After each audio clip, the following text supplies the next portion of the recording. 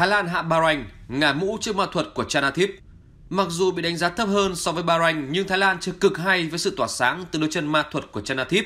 Messi Thái chính là sự khác biệt của trận đấu với pha lập công ở phút 58. Với huấn luyện viên tạm quyền Sirisak Yoathai, Thái Lan được dự đoán sẽ gặp rất nhiều khó khăn trước Bahrain, đối thủ mà Thái Lan chưa biết mùi chiến thắng sau 3 thập kỷ. Ngoài ra, Thái Lan đang không có phong độ tốt khi thất bại đến 1-4 trước Ấn Độ ở trận gia quân. Dư luận Thái Lan chỉ trích rất nhiều với đội nhà. Cả Thái Lan và Bahrain đều chơi thứ bóng đá đầy tốc độ. Thái Lan tỏ ra lép vế hơn khi Bahrain có thể hình và sức mạnh vượt trội. Bahrain có những pha bóng bổng thực sự nguy hiểm với khung thành của Thái Lan, nhưng mọi thứ chỉ dừng lại ở mức độ cơ hội. Cuối cùng, sự khác biệt của trận đấu đến từ đôi chân tài hoa của Messi Thái. Christian Đỗ có tình huống đi bóng bên cánh phải, sau đó tung đường truyền vào vòng cấm cho Chanathip tung cú đá volley vào lưới Bahrain. Messi Thái tiếp tục mang đến sự khác biệt với một pha chuyển bóng loại cả hàng thủ của Bahrain, nhưng Adisak Kraison lại dứt điểm trúng cột dọc trong sự tiếc nuối. Nếu Adisak Raison chính xác hơn thì số phận trận đấu có lẽ đã sớm được định đoạt. Thái Lan càng chơi càng hay khi tiếp tục có thêm tình huống nguy hiểm với pha đi bóng của Đăng Đa. Chân sút chứ danh của Thái Lan có pha đột phá rung mãnh và tung ra cú dứt điểm hiểm hóc nhưng thủ môn của Bahrain lại cản phá thành công. Với chiến thắng 1-0 trước Bahrain, Thái Lan cho thấy được sức mạnh đáng sợ sau khi thay huấn luyện viên. Điểm nhấn chính là màn trình diễn ấn tượng của Chanathip, ngôi sao số 1 của đội tuyển Thái Lan. Chanathip chơi thử bóng đá tốc độ kỹ thuật và có những đường truyền tạo nên sự khác biệt, xứng tầm với cầu thủ đã được đánh giá là hay nhất Đông Nam Á sau một mùa làm mưa làm gió ở Nhật Bản. Thái Lan thực sự lột xác với màn trình diễn ấn tượng để hạ Bahrain. Người Thái rõ ràng có lý do để vui sướng với chiến thắng sau thất bại thảm hại 1-4 trước Ấn Độ ở trận gia quân. Với 3 điểm trước Bahrain, Thái Lan mở ra cơ hội vào vòng đấu loại trực tiếp Asian Cup 2019. Ngược lại, tuyển Bahrain sẽ gặp nhiều khó khăn vì chỉ mới có một điểm sau hai lần đấu. Huấn luyện viên Thái Lan thừa nhận bị sốc, không ngờ nổi voi chiến lại hạ gục Bahrain. Sau thảm bại ở trận gia quân, tuyển Thái Lan dưới sự dẫn dắt của huấn luyện viên tạm quyền Sirisak Yotyathai đã hoàn toàn lột xác để đánh bại Bahrain, qua đó sống lại cơ hội lọt vào vòng 1-8 Asian Cup. Nếu dứt điểm tốt hơn, voi chiến hoàn toàn có thể thắng với cách biệt lớn hơn so với tỷ số tối thiểu là 1-0. Sau trận thắng thuyết phục, huấn luyện viên Sirisak Yotyathai thừa nhận rằng ông hoàn toàn sốc vì quá bất ngờ với màn trình diễn của các học trò. Ông nói, Thống kê cho thấy đã 30 năm qua, chúng tôi chưa bao giờ thắng một đối thủ Trung Đông. Chúng tôi cũng chưa từng thắng Bahrain sau 39 năm. Tôi đã bị sốc bởi chiến thắng ngày hôm nay là quá bất ngờ. Chúng tôi đã phá tan những rào cản của lịch sử. Bây giờ toàn đội cần tiếp tục nỗ lực ở trận đấu tiếp theo. Kẻ đóng thế trên vai trò huấn luyện viên của tuyển Thái Lan cũng trải lòng. Tôi muốn cảm ơn người hâm mộ và Liên đoàn bóng đá Thái Lan khi đã dành cho tôi cơ hội. Rất nhiều người đã đặt ra câu hỏi rằng liệu chúng tôi có thể tạo ra bất ngờ trước Bahrain hay không? Đó là một áp lực nặng nề với chúng tôi, nhưng cũng là động lực để giúp chúng tôi có được chiến thắng này. Chúng tôi đã thể hiện được sức mạnh của mình, đặc biệt là tinh thần thi đấu. Toàn đội đã không hề buông xuôi sau thất bại nặng nề ở trận đầu tiên. Trong khi đó, Messi Thái, Chanathip Songkrasin, cầu thủ ghi bàn thắng duy nhất của trận đấu, lại tán dương nỗ lực của toàn đội.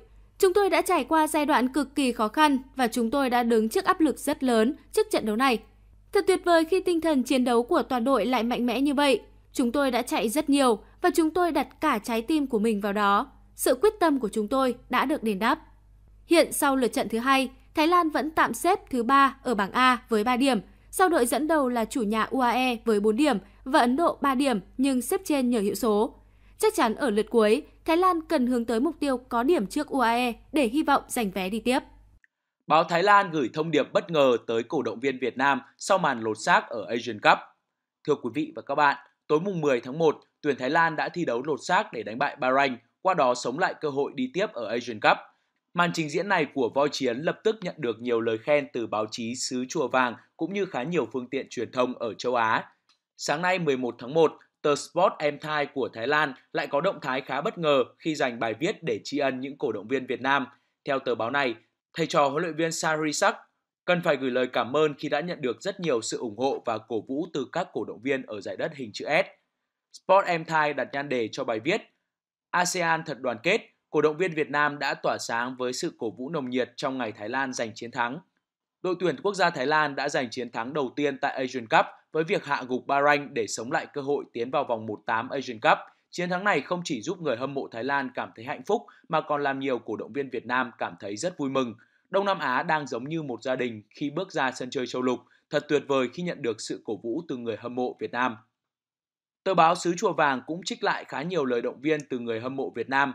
Bạn Nguyễn Phương Nam cổ vũ, với tình yêu đến từ Việt Nam, chúng tôi xin gửi lời chúc mừng tới đội tuyển Thái Lan. Cổ động viên Đức Trường khen ngợi, đội tuyển quốc gia Thái Lan xứng đáng giành chiến thắng, thật tuyệt vời khi các đội bóng ở Đông Nam Á giành chiến thắng ở giải đấu châu lục. Người bạn Thái Lan thật tuyệt vời, các bạn đã trở thành một đội đầu tiên ở Đông Nam Á giành chiến thắng tại Asian Cup năm nay. Hy vọng Philippines và Việt Nam sẽ tiếp nối Thái Lan để giành kết quả tương tự. Cổ động viên Cao Thiện lại cho rằng, chúng tôi đã cổ vũ và chờ đợi các bạn giành chiến thắng và các bạn đã làm được điều đó. Thật tuyệt vời, các bạn làm những người dân Đông Nam Á có thể tự hào, hy vọng Việt Nam và Philippines cũng sẽ giành chiến thắng giống như điều mà Thái Lan đã làm được. Sport Em Thai kết thúc bài viết bằng lời chúc tới Việt Nam và Philippines. Thái Lan đã trở thành đội đầu tiên thuộc khu vực ASEAN giành chiến thắng ở Asian Cup 2019, trong khi hai đội Việt Nam và Philippines đều chưa có điểm. Hy vọng cả hai đội sẽ cùng giành chiến thắng để mở ra cơ hội tiến vào vòng tiếp theo. Có hay không, thầy trò Kiatisak giật dây đá văng Rajevac. Có thông tin cho rằng một số học trò trụ cột của huấn luyện viên Kiatisak trước đây như Dangda Chanathip đã chủ mưu đá văng ghế thầy Jarevac.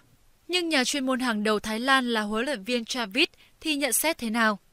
Một trong những ý kiến nặng ký nhất của dư luận Thái Lan khi Liên đoàn bóng đá Thái Lan FAT trảm huấn luyện viên Rajevac sau trận thua đậm Ấn Độ 1-4 đêm 6 tháng 1 là của huấn luyện viên Chanvit, trưởng ban chiến lược các đội tuyển Thái Lan. Có thể coi ông Chanvit như là một trong những kiến trúc sư lối chơi của bóng đá nam Thái Lan. Huấn luyện viên Chanvit nhận xét rằng trận Thái Lan thua Ấn Độ trước tiên phải dành lời khen ngợi cho tuyển Ấn Độ. Vì họ đã chơi thứ bóng đá quá hay, Chanvit khẳng định, tôi ngưỡng mộ lối chơi của Ấn Độ, họ đã chuẩn bị quá tốt cho việc gặp Thái Lan, họ đã chủ động hoàn toàn và đưa ra những nhịp độ trận đấu trong từng thời khắc rất chuẩn xác và mang tính quyết định đem lại chiến thắng cho họ. Cũng theo vị chuyên gia bóng đá rất nổi tiếng này, thì các cầu thủ Ấn Độ không đợi bóng mà tranh chấp quyết liệt, pressing để đoạt lại bóng hoặc phá ý đồ triển khai thế trận của Thái Lan. Điều này họ dựa trên sức mạnh và sức bền cũng như thể hình của họ trội hơn Thái Lan. Huấn luyện viên Razovac có lẽ quá nôn nóng tìm chiến thắng khi ông đã đưa quá nhiều tiền đạo vào đội hình xuất phát với những Dangda, Adishak, Supachai, Titifan, bốn tiền đạo này có lối chơi na ná như nhau, dẫm chân lên nhau. Trong khi đó thì tiền vệ sáng tạo Chanathip bị đẩy lùi về quá sâu, không phát huy được tính sáng tạo và vai trò gây đột biến trong cách chơi của tuyển Thái Lan. Bốn tiền đạo Thái kể trên thì tất nhiên có người được xếp đá khu vực tiền vệ, nhưng họ là những tiền đạo thực thụ. Thái Lan chuyển đổi bóng từ phòng ngự sang tấn công và chuyền bóng để tổ chức tấn công không có đường nét và không có tính bất ngờ. Các tiền vệ triển khai bóng lên chơi kiểu hai chạm đã không hiệu quả. Nhưng quan trọng nhất là tiền vệ sáng tạo Chanathip bị buộc phải chơi quá sâu ở phía dưới tiền đạo vì phía trên có Titifan và Supachai là không hợp lý, hay nói khác đi là đã bịt gà cựa Chanathip rồi. Chanathip có thế mạnh là hoạt động dọc trung lộ và chủ yếu chơi phía sau hai tiền đạo, tạo nên những cú tỉa bóng, những pha dứt điểm hiểm hóc. Nhưng cách bố trí cách chơi cho Chanathip của huấn luyện viên Rajevac là đã tự triệt đi thế mạnh đặc trưng của tiền vệ này. Chanathip gắn liền với những pha dứt điểm cầu môn, nhưng ở trận thua Ấn Độ thì Chanathip không có một pha ra chân dứt điểm nào. Đó là sự thiếu chính xác nhất trong việc bố trí Chanathip của huấn luyện viên Rajevac.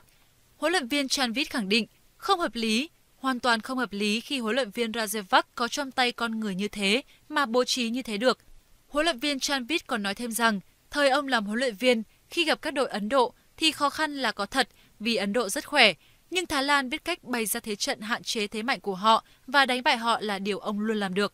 Còn huấn luyện viên Rajevac thì sai lầm khi đưa ra đấu pháp và con người bất hợp lý ở trận thua Ấn Độ.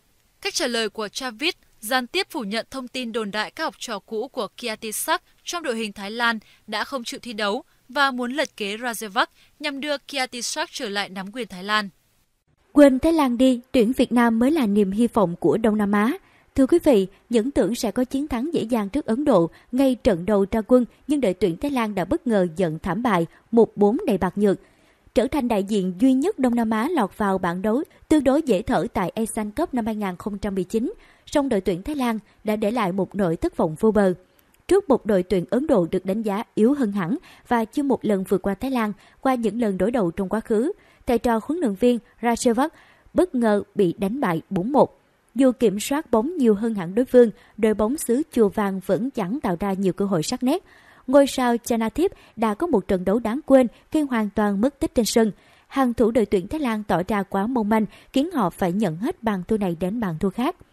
Thất bại đậm đà trước Ấn Độ cùng một lối chơi bạc nhược khiến cơ hội lọt vào vòng 1-8 của đội tuyển Thái Lan trở nên khá mong manh dù rằng trước mắt Chenathep cùng với các đồng đội còn những hai trận đấu nữa gặp đội chủ nhà UAE và Bahrain.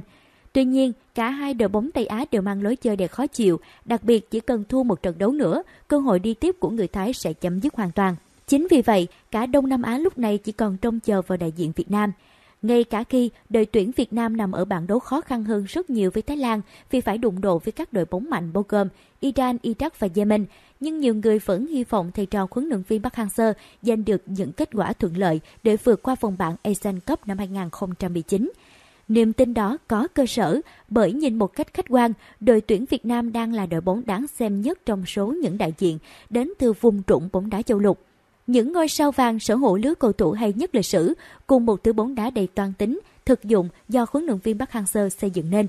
Chưa hết trong đội hình đội tuyển Việt Nam còn những ngôi sao được đánh giá rất cao dù mới ở độ tuổi rất trẻ như là Quang Hải, Phan Hậu, Phan Văn Đức. Không chỉ vậy, đội tuyển Việt Nam là một tập thể vô cùng gắn kết nhờ lứa cầu thủ từng lên ngôi Á quân giải U23 châu Á cách đây một năm. Chính vì vậy, đội tuyển Việt Nam hứa hẹn đem đến những bất ngờ thú vị.